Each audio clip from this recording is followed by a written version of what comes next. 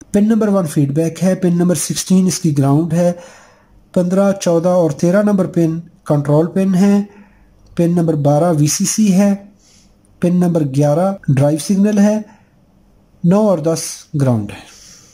ये हमारी आईसी की कॉन्फ़िगरेशन होगी 494 की। अस्सलाम वालेकुम वरहमतुल्लाहि वबरकातुहू वेलकम टू हसीब इलेक्ट्रॉनिक्स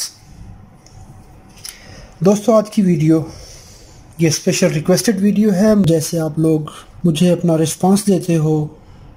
मैं आप लोगों का बहुत बहुत मशहूर हूँ। आपका बहुत बहुत शुक्रिया। रियली really, मैं जब आप लोगों के कमेंट्स पढ़ता हूँ आप लोग डायरेक्टली मुझे व्हाट्सएप पे मैसेज करते हैं कि सर हमें ये चाहिए हमें ये मालूम चाहिए हमें इस तरह का ये सर्किट एक्सप्लेन कर दें इसके बारे में समझा दें ये समझा दें।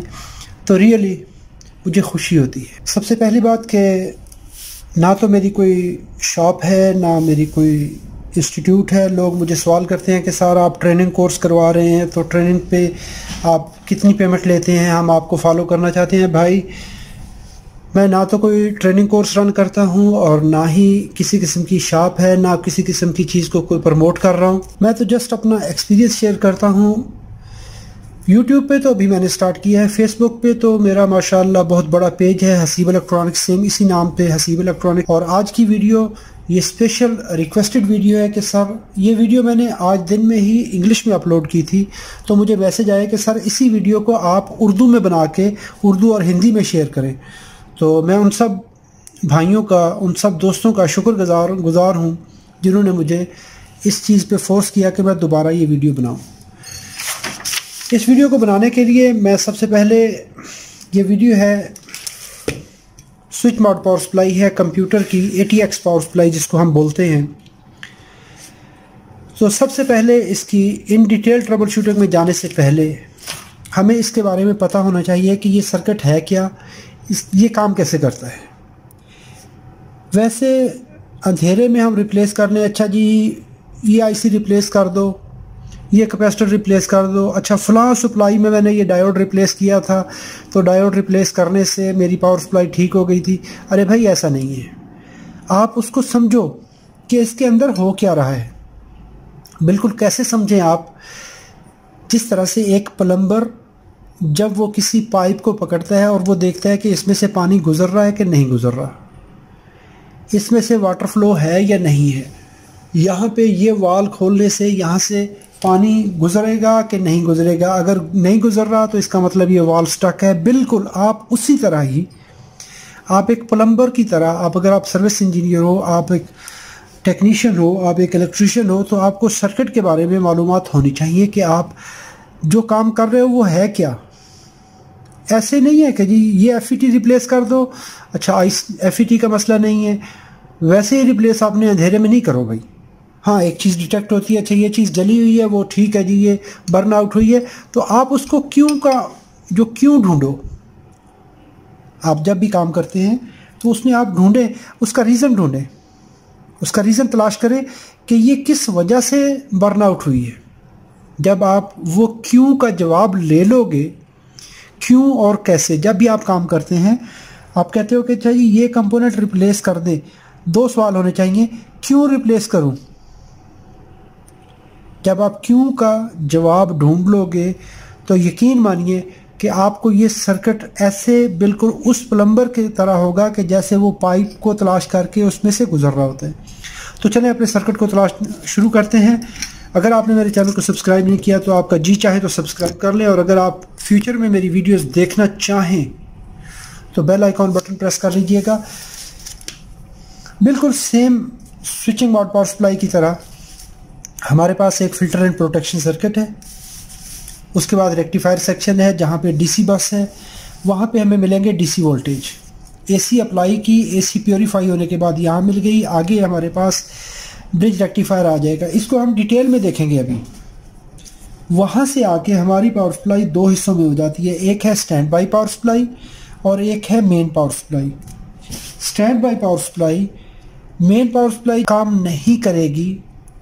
पहले हमारी standby power supply activate हो जाएगी। Standby power supply activate होकर एक वोल्टेज जनरेट करेगी, जिसको हम कहते हैं बाइसिंग वोल्टेज या वीसीसी जो कि यहाँ पे पल्स विट्स मॉडुलेटर जो पी डब्ल्यू एम कंट्रोलर है C M S M P S controller है, उसको पावर अप करेगी। इसने पहले ऑन होकर उसको पावर देनी है। जब तक उस आईसी को पावर नहीं मिलेगी, वो काम करने के काबिल नहीं होगी। अच्छा उसके बाद एक सिग्नल बनाएगी जिसको कह, हम कहते हैं PG signal. Power good signal. ये पावर गुड सिग्नल प्रोसेसर को जाएगा प्रोसेसर अपने आप को रीसेट कर लेगा इनिशलाइज कर लेगा।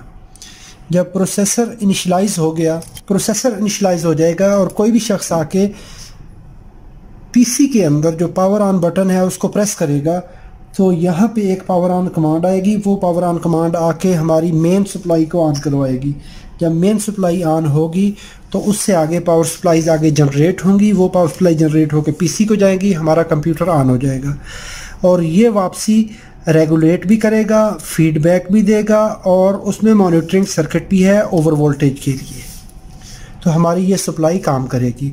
चलें हम चलते हैं डायग्राम की तरफ़। यहाँ पे आ जाइए। यहाँ पे आते हुए हमारे पास अगर देखें, हमारे पास दो लाइनें आ गई। एक को हम बोलते हैं लाइन और एक को कहते हैं न्यूट्रल। ऊपर देखें तो सबसे पहले फ्यूज़ आ गया। फ्यूज़ हमारा प्रोटेक्शन के लिए ओवर करंट के लिए। साथ ही अगर देखें तो एक हार्मोनिक्स को रिमूव करने के लिए कैपेसिटर है और साथ ही एक एनटीसी लगा हुआ है। ये एनटीसी किस लिए लगाया जाता है कि जो कैपेसिटर हैं, जो ही ऑन होते हैं तो वो यकदम सर्ज करंट ड्रा करवाते हैं। एक्स बहुत ज़्यादा एक्स्ट्रा करंट ड्रा करवाते हैं। उसको बचाने के लिए एनटीसी लगाया जाता है। ये एक लम्हे तक उसको कंट्रोल करवाता है। कंट्रोल करवाने के बाद लेवल में आ जाती है सप्लाई जब टम्परेचर चेंज होगा तो ये अपनी रेजिस्टेंस नेगेटिव की तरफ़ ले जाकर उस सर्किट को भी मेंटेन करवाएगा। टेम्परेचर कोफिशेंट भी है। आगे देखिए तो एक रजिस्टर और कैपेसिटर ये हमारा ट्यून नेटवर्क हो गया। ई एम आई फ़िल्टर है इलेक्ट्रोमैग्नेटिक इंडक्शन आगे है जेड वन वोल्टेज अरेस्टर है, जो कि ओवर वोल्टेज की सूरत में शार्ट होकर इंटरनली शार्ट होकर मेटल एमओवी है एमओवी शार्ट होकर, इस फ्यूज़ को बर्न करवा देगा। तो नतीजतन क्या होगा कि हमारी करंट फ्लो यहाँ से होने के बाद फ्यूज़ को बर्न करवा देगा तो हमारी लाइन कट हो जाएगी। जो फ़ेज़ है, वो आना ख़त्म हो जाएगा। तो क्या होगा कि हमारे आगे नेक्स्ट सप्लाई नेक्स्ट सर्किट को वोल्टेज नहीं जाएँगे। इसके बाद हमारे पास आगे एक कॉयल आ गई इंडक्टर आ गया इनपुट फ़िल्टर है। वहाँ से आगे देखें तो ड्यूल लाइन फ़िल्टर है। ड्यूल लाइन फ़िल्टर और साथ में एक कैपेसिटर लगा हुआ है। ये मिलकर एक ट्यून नेटवर्क बनवाते हैं और एक बैंड बास करवाने के बाद आगे आ जाइए तो आगे सी टू सी थ्री फिर दोबारा कैपेसिटर लगे हुए हैं। जो कि हाई फ्रिक्वेंसी को रिमूव करते हैं। इससे आगे देखें तो आगे हमारे पास ब्रिज रेक्टिफायर आ गया। ब्रिज रेक्टिफायर के दोनों एंड पे एसी मिलेगी, दरमियान में से हमें दोनों कैथोड और दोनों एनोड से हमें एक डीसी मिलेगी। आगे आ जाइए। यहाँ पे लगा हुआ है एक स्विच ये है 115 115 वोल्ट और 220 वोल्ट के लिए है। अगर ये स्विच 230 पे है तो ये हमारी जो डीसी वोल्टेज है, वो directly C five C six पे चले जाएँगे। C five C six D C capacitor हैं, ये चार्ज हो जाएँगे, दोनों सीरीज़ में चार्ज होंगे। अगर हम वन वन फाइव पे कर देंगे तो ये वोल्टेज यहाँ पे आ जाएँगे डीसी वोल्टेज और साथ में हमारा जो Z2 है वोल्टेज अरेस्टनर वो 115 के लिए 115 वोल्ट पे वो काम करना शुरू कर देगा। वो प्रोटेक्शन उसकी 115 वोल्ट वाली ऑन हो जाएगी। अभी हमारे पास ये वोल्टेज यहाँ पे आ गया साथ है दो रजिस्टर जो कि पावर ऑफ़ करने की सूरत में इन कैपेसिटर्स को डिस्चार्ज करवा देंगे। आगे देखिए तो ये वोल्टेज लाइन सीधी आई और यहाँ पे Q1 के कलेक्टर पे आके रुक गई। साथ ही डायोड है जो कि रिवर्स बायस है। नेगेटिव लाइन को देखें तो इस सी क्यू टू के एमीटर पे आके सप्लाई रुक जाएगी क्योंकि ये भी ऑफ़ कंडीशन में है और ये डायोड रिवर्स बायस है, इसलिए ये दोनों काम नहीं करेंगे। इससे नेक्स्ट हम चले जाएँ। ये सप्लाई का आगे यहाँ पे नोड बन रहा है, यहाँ पे दोनों लाइनें ये देखें नीचे आ गई। हमने ये सर्किट डिस्कस कर लिया। फ़िल्टर एंड प्रोटेक्शन सर्किट तो फ़िल्टर एंड प्रोटेक्शन सर्किट हमारा हो गया यहाँ से लेकर यहाँ तक। आगे आगे हो, हमारी हो गई डीसी बस। तो ये हमारी हो गई डीसी बस। इससे नेक्स्ट जो सर्किट हम डिस्कस करेंगे, वो है स्टैंड बाई पावर सप्लाई ये दोनों लाइनें आ गई यहाँ पे। तो ये दोनों लाइनें पॉजिटिव वोल्टेज अगर आप देखिए तो यहाँ पे आके टी सिक्स के वाइंडिंग में आ गए, यहाँ से आके इस ट्रांजिस्टर के कलेक्टर पे आ गए। और नेगेटिव लाइन इस कलेक्ट इस ट्रांजिस्टर के एमीटर पे आ गए ये एक स्टैंड अलोन इन्वर्टर है जो कि हमें पावर जनरेट करवा के देगा। ये फिक्स वोल्टेज ऑसिलेटर है यहाँ पे, जो कि फिक्स फ्रिक्वेंसी है। उसको कोई गरज नहीं कि वोल्टेज रेगुलेशन है या नहीं है। ये एक स्टैंडर्ड रेगुलेटर स्टैंडर्ड चॉपर है। और ये कहाँ पे लगा हुआ है? अगर हम देखें तो ये ट्रांसफार्मर छोटा एक बड़ा ट्रांसफार्मर पीएफसी इसके बाद एक छोटा सिग्नल ट्रांस, ट्रांसफार्मर है और उससे आगे देखें तो पावर ट्रांसफार्मर छोटे वाला। ये ट्रांसफार्मर क्या करेगा? एक सप्लाई को बिल्ड करवाएगा। ये सप्लाई इसकी सेकेंडरी से हमें दो सेकेंडरी हैं, आपस में सेंटर टेप्ड हैं। यहाँ पे डी थर्टी डायोड है। ये डायोड क्या करवाएगा? 12 वोल्ट को स्विच करवा के अगर हम देखें तो इस आईसी की पिन नंबर 12 पे ले आएगा। दोबारा देखिए, ये वोल्टेज रेक्टिफाई होने के बाद T L four nine four I C के पिन नंबर ट्वेल्व पे आ गए। और साथ ही अगर हम देखेंगे तो यही वोल्टेज इस रजिस्टर के, रजिस्टर में से होते हुए डी फोर्टीन से होते हुए इस जगह पे इस कलेक्टर पे आ, इस ट्रांस, इस ट्रांसफार्मर की सेंटर ट्रेप पे आ गए।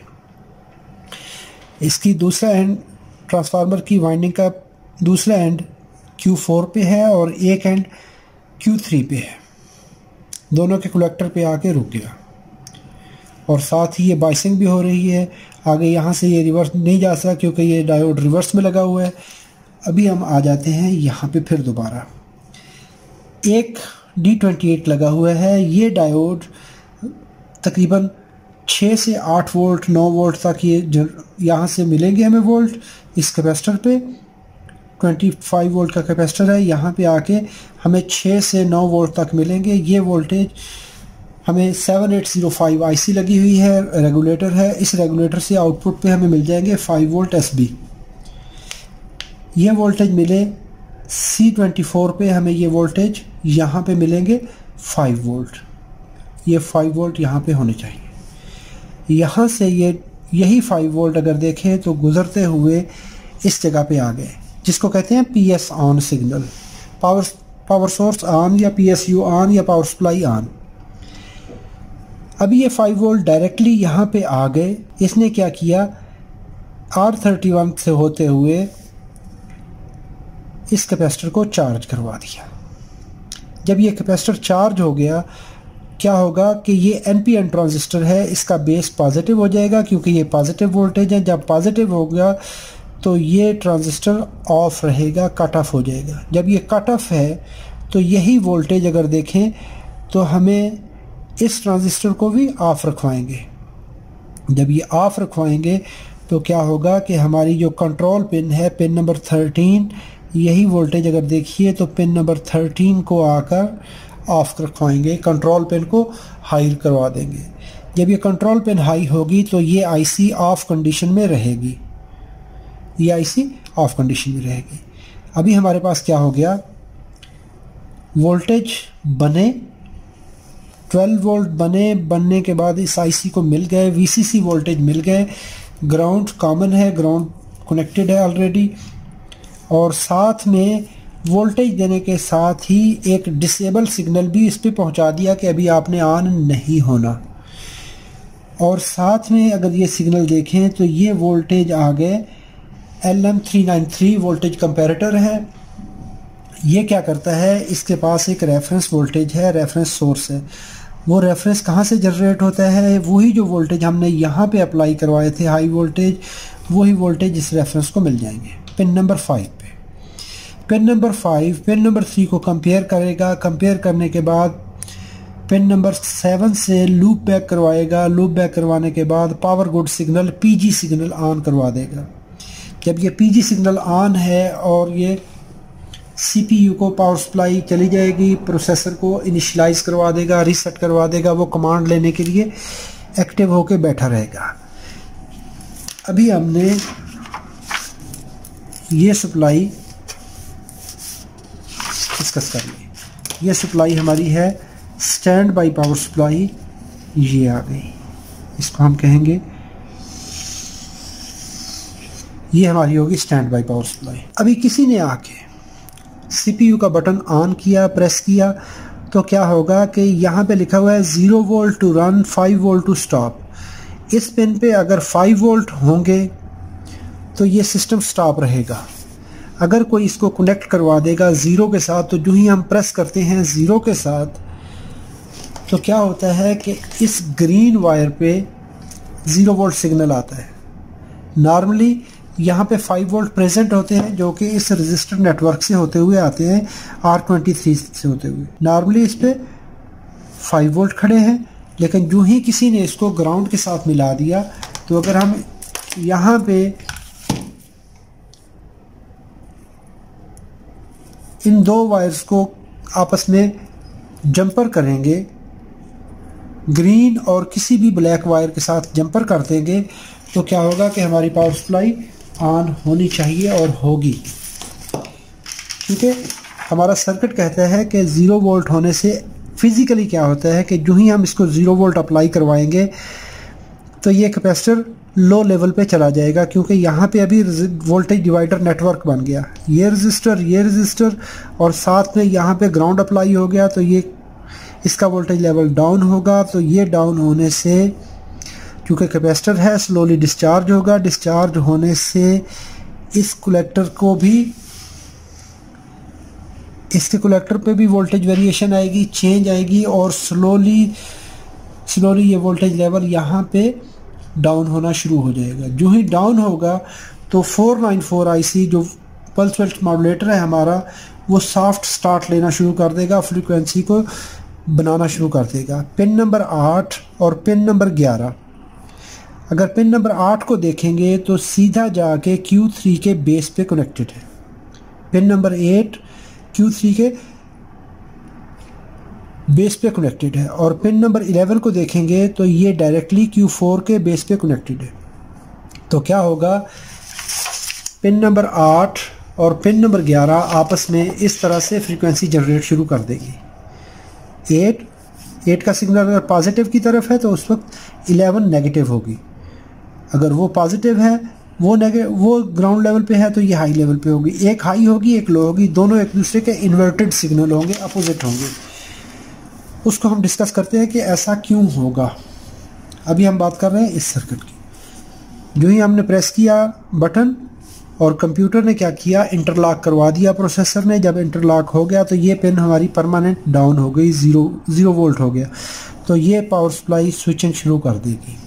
जब इसने स्विचिंग शुरू की, यहाँ पे अभी दोनों ट्रांजिस्टर कभी ये ऑन है तो ये ऑफ़ होगा। ये ऑन है तो ये ऑफ़ होगा। बार बार इस तरह ऑन ऑफ़ होना शुरू हो जाएँगे। जब ये ऑन ऑफ़ शुरू होंगे तो क्या होगा कि ये ट्रांसफार्मर इसमें से करंट फ्लो करवाएँगे।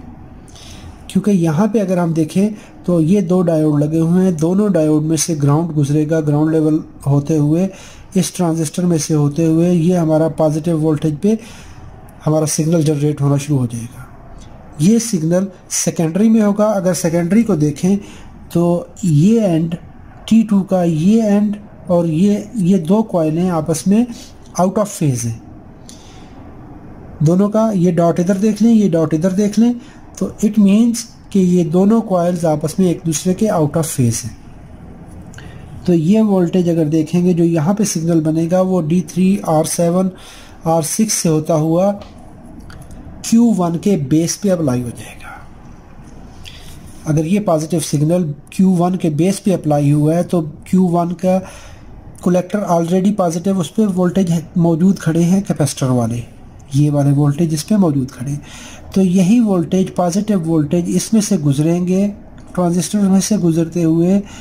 तो ये देखिए, वापस इस कॉयल में से आते हुए तो ये इसकी कॉयल का एक हिस्सा, कुछ हिस्सा उसने इस ट्रांसफार्मर में से सिग्नल ट्रांसफार्मर में से गुजारा है, ताकि फीडबैक को मेंटेन रखे।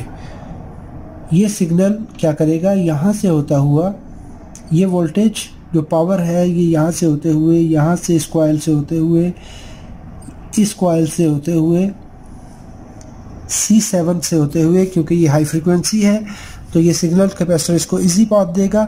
इजी पाथ देगा तो ये ऊपर वाला कैपेसिटर सी फाइव जो है हमारा उस वक्त काम करेगा। पॉजिटिव वोल्टेज यहाँ से चले ट्रांजिस्टर ऑन है, इसके ऑन होने से यहाँ से होते हुए इस ट्रांसफार्मर की सेकेंडरी में से गुजरे और गुजरने के बाद जो हमारा पावर पीएफसी ट्रांसफार्मर है, उसकी प्राइमरी में से गुजरे और यहाँ पे आके सर्किट मुकम्मल हो गया। अभी जब दूसरा, उस वक्त क्या है कि ये टू के ट्रांसफार्मर ये ट्रांसफार्मर की वाइंडिंग आपस में आउट ऑफ़ फ़ेज़ है। अगर ये एंड पॉजिटिव है तो ये एंड नेगेटिव है। जब ये एंड नेगेटिव है तो ये कैपेसिटर उस वक्त ऑफ़ कंडीशन में है सो so दैट एक ट्रांजिस्टर काम करेगा एक वक्त में। अभी नेगेटिव साइकिल आ गया, दूसरा, अगर पिन नंबर एट ने स्विच करवाया तो मैं कहता हूँ कि क्यू वन ऑन हो गया। अगर पिन नंबर एलेवन ऑन होगी पिन नंबर 11 पे सिग्नल आएगा तो उसकी वजह से Q4 और सिग्नल की पोलैरिटी चेंज हो जाएगी तो हमारा ये एंड पॉजिटिव हो जाएगा, इसके पॉजिटिव होने से Q2 जो है, वो ऑन हो जाएगा। जब ये ऑन हुआ तो यहाँ पे ये देखें तो नेगेटिव लाइन ऑलरेडी खड़ी है। तो ये नेगेटिव वोल्टेज को गुजारेंगे, यहाँ, क्योंकि यहाँ से फिर ट्रांसटर ऑफ़ हो गया, या ऊपर तो जा नहीं सकते। तो ये हमारा सिग्नल यहाँ से आया, उसी रास्ते से। पहले हमने पॉजिटिव वोल्टेज गुजारे थे तो अभी नेगेटिव साइड से नेगेटिव लाइन गुजरी। और जाके, वापसी आके इससे होते हुए सी सिक्स इस कैपेसिटर के वोल्टेज लेवल कंप्लीट हो जाएगा यहाँ पे आके। एक ट्रांजिस्टर को एक कैपेसिटर ड्राइव करवाएगा, दूसरे ट्रांजिस्टर को दूसरा कैपेसिटर ड्राइव करवाएगा। इसको कहते हैं half bridge S M P S technology. Normal SMPS के अंदर एक ही कैपेसिटर होता है, एक ट्रांजिस्टर होता है, ट्रांजिस्टर कैपेसिटर ट्रांसफार्मर की वाइंडिंग में से एक ही डायरेक्शन में वोल्टेज गुजरते हैं, लेकिन जब हमें करंट की मकदार ज़्यादा चाहिए तो हाफ़ ब्रिज टेक्नोलॉजी यूज़ की जाती है। हाफ़ ब्रिज टेक्नोलॉजी से क्या होता है कि हम करंट का फ्लो बार बार स्वीप करवाते हैं, जिससे मैग्नेटिक फ़ील्ड बहुत ज़्यादा इंड्यूस होता है। इसके इंड्यूस होने से हमें वोल्टेज हमें आउटपुट करंट ज़्यादा मिलती है। दोनों ट्रांजिस्टर आपस में एक दूसरे के अपोजिट काम करेंगे। एक ऑन होगा तो दूसरा ऑफ़ होगा। एक ऑन है तो दूसरा ऑफ़ है। इससे करने से एक दफ़ा हमारे पॉजिटिव वोल्टेज गुजरेंगे, करंट की डायरेक्शन एक तरफ़ होगी और दूसरी बार करंट की डायरेक्शन दूसरी हो जाएगी। तो ट्रांजिस्टर हमारा, सॉरी, ट्रांसफार्मर हमारा बार बार स्वीप करेगा, पॉजिटिव और नेगेटिव के दरमियान, क्योंकि एक दफ़ा हम पॉजिटिव वोल्टेज ये अप्लाई करवाएँगे और दूसरी दफ़ा हम वोल्टेज करंट का फ्लो अपोजिट हो जाएगा। जब ऐसा करने से इसका फ्लो बार बार चेंज होगा तो हमें मैग्नेटिक फ़ील्ड स्ट्रांग मिलेगा, सेकेंडरी में हमें ज़्यादा इंडक्शन मिलेगी। तो हाफ़ ब्रिज में जब हम ये टेक्नोलॉजी यूज़ करते हैं, नॉर्मल एस के अंदर एक डायोड यूज़ किया जाता है तो हाफ़ ब्रिज टेक्नोलॉजी में हम दो डायोड यूज़ करते हैं। तो ये देखिए तो ये मल्टी आउटपुट ट्रांसफार्मर है पीएफसी है। यहाँ से हमें प्लस ट्वेल्व वोल्ट मिल गए प्लस फाइव वोल्ट मिल गए। ये एक सेट लगा हुआ है डायोड का एक सेट ये लगा हुआ है। यहाँ पे इंडक्टर हैं। तो इससे गुजरते हुए हमें ये वोल्टेज मिलते जाएँगे। माइनस फाइव है माइनस ट्वेल्व है प्लस थ्री पॉइंट थ्री है। अच्छा जब ये वोल्टेज मिलना शुरू हो गए तो अगर हम देखेंगे तो एक लाइन यहाँ से चल रही है साथ। अभी इसको देखते हैं कि ये क्या है। यहाँ पे आके एक नोड ये बन गया। प्लस ट्वेल्व और ये माइनस ट्वेल्व। ये दो वोल्टेज आपस में मिलाकर उसने आर ट्वेंटी फाइव 27 के की रिले है, प्लस माइनस 12 वोल्ट को सेंस उसने कर लिया यहाँ पे आकर। अभी प्लस फाइव को देखें तो ये वोल्टेज आए यहाँ पे आके इस कैपेसिटर के साथ इसने इश्तराक किया और यहाँ पे आके प्लस माइनस फाइव वोल्ट को उसने सेंस करके आर ट्वेंटी सिक्स से गुजारा और इस समिंग पॉइंट पे आके उसने सम करवा दिया। ये होगी हमारी फीडबैक ये है वोल्टेज का लेवल वोल्टेज का लेवल अगर कम या ज़्यादा होगा थोड़ा बहुत तो ये उसकी करेक्शन के लिए पिन नंबर वन पे चली जाएगी। Pin number one T L four nine four की पिन नंबर वन फीडबैक है। यहाँ पे आपको फीडबैक मिलेगी। अगर आपकी सप्लाई के वोल्टेज रेगुलेट नहीं हो रहे, उसमें फ्लक्चुएशन है तो आप इस पर मॉनिटर करें पिन नंबर वन पे। तो आपको यहाँ पे प्रॉब्लम मिलेगी। अभी देखिए इस आईसी पे है क्या? पिन नंबर आठ ड्राइव होगी एक साइड की, पिन नंबर सात ग्राउंड है, और पिन नंबर छ, पाँच, चार तीन, दो तीन दो आपस में इसकी प्रोग्रामिंग रजिस्टर लगे हुए हैं और ये भी प्रोग्रामिंग रजिस्टर हैं जो कि फ्रीक्वेंसी को एडजस्ट करवाने के लिए हैं।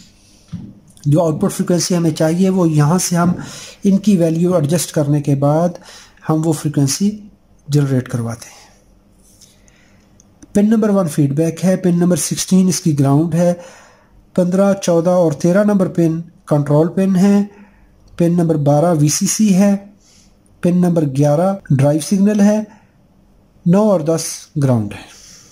ये हमारी आईसी की कॉन्फ़िगरेशन होगी 494 की। ये फीडबैक हमें मिल गई। साथ में अगर देखें तो 3.3 वोल्ट को उसने एक अलहदा से स्टेबलाइज़र लगवा दिया 3.4 3.3 रेगुलेटर है। इस पे उसने एक T L four three one voltage reference लगवा दिया, जो कि इंटेलिजेंट जीनर है, तीन पिन वाला ट्रांजिस्टर टाइप है। इसको साथ उसने एक क्यू थर्टीन ट्रांजिस्टर लगा दिया। ये क्या करेगा? इस वोल्टेज को मॉनिटर करेगा और ये वायर हमारी मदरबोर्ड से आ रही होती है।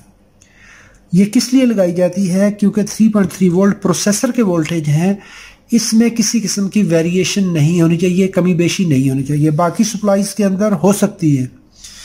बर्दाश्त की जा सकती है, लेकिन 3.3 को कंट्रोल हर हाल में करना है और ये इंश्योर किया जाता है, ये मदरबोर्ड से ये वोल्टेज वापसी सेंस करके यहाँ पे लाई जाती है और इस सेंस को 3.3 करता है यहाँ पे आके। ये देखें तो इसको फीडबैक में नहीं रखा। यहाँ पे फीडबैक में नहीं रखा, उसने इसको अलहदा से रेगुलेटर लगा दिया सर्किट तो ये हमारा रेगुलेटर सर्किट आ गया। अभी आगे कंडीशन एक और। अगर तो वोल्टेज कम होंगे तो कोई बात नहीं। लेकिन ये कंप्यूटर है, अगर ये वोल्टेज ज़्यादा हो गए इंक्रीज़ हो गए तो क्या होगा कि हमारा सिस्टम डैमेज हो जाएगा। उसको बचाने के लिए पावर सप्लाईज के अंदर प्लस फाइव माइनस फाइव ये इन वोल्टेज को लगाने के लिए ओवर वोल्टेज सर्किट लगा दिया। ओवर वोल्टेज सर्किट नॉर्मली क्या करता है कि ये इनएक्टिव होता है, ये काम नहीं कर रहा होता, ये प्रोटेक्शन सर्किट है। लेकिन ये कैसे काम करता है, ये देखें। तो यहाँ पे resistor diode resistor diode resistor ये एक वोल्टेज डिवाइडर नेटवर्क बना हुआ है। यहाँ पे जीनर डायोड लगाए हैं। ये सारे के सारे मिलकर 5 वोल्ट और 3.3 को उसने सम करवा के यहाँ से डी ट्वेंटी सेवन से गुजार के इस पॉइंट पे ले आया। यहाँ से इसको समिंग पॉइंट पे ला के इन दोनों को सम करवाया, यहाँ पे उसको इसके साथ जमा करवाया, जब ये समिंग पॉइंट करवा के इस डायोड से गुजारा, अभी यहाँ पे हमारा फाइनल एरर मॉनिटर होगा। किसी भी पावर सप्लाई ने कोई कमी बेशी की, कोई वोल्टेज अपने लेवल से ज़्यादा हुए तो उसी वक्त क्या होगा? हमारा क्यू सिक्स जो है, वो क्या करेगा? कंडक्ट कर जाएगा जो ही ये कंडक्ट करेगा तो इसके कंडक्ट करने से अगर ये देखें तो ये ग्राउंड लेवल क्या होगा? ये अप्लाई होगा पीएनपी ट्रांजिस्टर पर। दोबारा देख लें। वोल्टेज बढ़े, बढ़ने से ये हमारा ट्रांजिस्टर कंडक्ट कर गया। तो जो ग्राउंड लाइन है, ये क्या होगी? इस पर अप्लाई होगी। जब इस पर अप्लाई होगी तो उस वक्त बहुत मज़े की बात है कि जो हमारा ये सिग्नल अगर देखें जो कि हमारा पावर ऑन सिग्नल था, यही सिग्नल इस डायोड से होता हुआ, ये सीधा आके इसको डीएक्टिवेट करवा देगा। हमारी पावर सप्लाई फिर से ऑफ़ हो जाएगी। अभी पावर सप्लाई चल रही थी, लेकिन कोई वोल्टेज अपनी लिमिट से बाहर गए, चाहे एक हो, चाहे सारे हों। अगर फीडबैक काम नहीं कर रही फीडबैक सर्किट काम नहीं कर रहा, और ये वोल्टेज ज़्यादा हुए, जो ही ज़्यादा होंगे तो हमारी ये ये सर्किट हमारा एक्टिवेट होने के बाद इस सिस्टम को ऑफ़ करवा देगा। जब ये ऑफ़ करवा देगा तो फिर हमारा काम ख़त्म हो गया। अभी होता क्या है कि हम पावर ऑन करते हैं, एक दफ़ा सीपीयू का फ़ैन चलता है, चलने के बाद ऑफ़ हो जाता है। वैसे उसमें क्या होगा कि या तो हमारा ये सिग्नल डिस्टर्ब हो रहा है, इसको जो ही हमने ऑन किया ऑन करने से पावर सप्लाई ऑन हो गई वक्ती तौर पे, लेकिन उसको इंटरलॉक नहीं मिला। इंटरलॉक कहाँ से मिलता है? मदरबोर्ड से। अगर तो मदरबोर्ड के अंदर इस तरह का प्रॉब्लम आ रहा है तो वहाँ पे आपका पीजी सिग्नल भी मिस हो सकते हैं। जो पीजी सिग्नल है पावर गुड सिग्नल ये सिग्नल अगर ये मिस हो गया तो उससे क्या होगा कि आपका सीपीयू रीसेट नहीं होगा और वो दोबारा हैंग स्टेट में ऑफ़ स्टेट में चला जाएगा। जब ऑफ़ स्टेट में होगा तो वो इंटरलॉक नहीं करवाएगा। ये प्रॉब्लम हो सकता है, आपके सीपीयू में प्रॉब्लम हो सकता है मदरबोर्ड में प्रॉब्लम हो सकता है। तो इसको आप कैसे इंश्योर कर सकते हैं? इसको करें कनेक्ट ग्राउंड के साथ। अगर तो पावर सप्लाई ऑन होती है तो आप सीपीयू की तरफ़ टेस्ट करेंगे। अगर इसको ग्राउंड के साथ कनेक्ट करने से फिर भी ये काम नहीं करता तो दैट मीन्स एक दफ़ा पावर सप्लाई ऑन होती है तो उसको कोई ना कोई चीज़ ऑफ़ करवा रही है। तो पावर सप्लाई को आप सेपरेट करिए सेपरेट करने के बाद इस सिग्नल को रिमूव कर दीजिए। इसको रिमूव करेंगे कैसे? क्यू क्यू फाइव को रिमूव कर दें। या इस पिन को जहाँ से जंपर होके आ रही है, इसको रिमूव कर दें। तो आपकी सप्लाई ये सर्किट डिसेबल हो जाएगा। डिसेबल होने से क्या होगा कि हमारी ये सप्लाई इंडिपेंडेंटली ऑन हो जाएगी। जब ऑन होगी तो उससे क्या होगा? कि हमारे वोल्टेज बनना शुरू हो जाएँगे। जब ये वोल्टेज बनेंगे तो हमें पता चल सकेगा कि कौन से वोल्टेज अपनी लिमिट से ज़्यादा है। यहाँ से भी हम कर सकते हैं। इसमें से जो वोल्टेज यहाँ पे आ रहे हैं, इसको आप, ये दो डायोड लगे हुए इन दोनों डायोड्स को रिमूव कर दें। इसको एक एक एंड रिमूव कर दें। तो आपको फ़ौर से पता चल जाएगा कि ये हमारा प्रॉब्लम कहाँ से आ रहा है। यहाँ से आ रहा है, यहाँ से आ रहा है, या यहाँ से जनरेट हो रहा है। अगर ये एक दफ़ा ऑन होता है, हो सकता है ये कैपेसिटर काम नहीं कर रहा।